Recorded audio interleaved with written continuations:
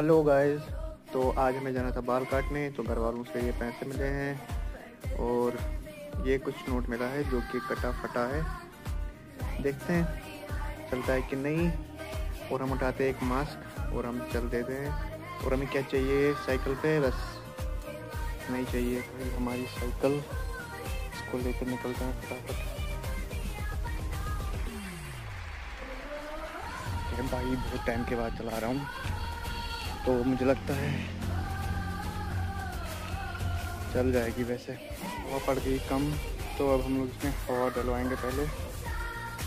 उसके बाद में हम शुरू करेंगे।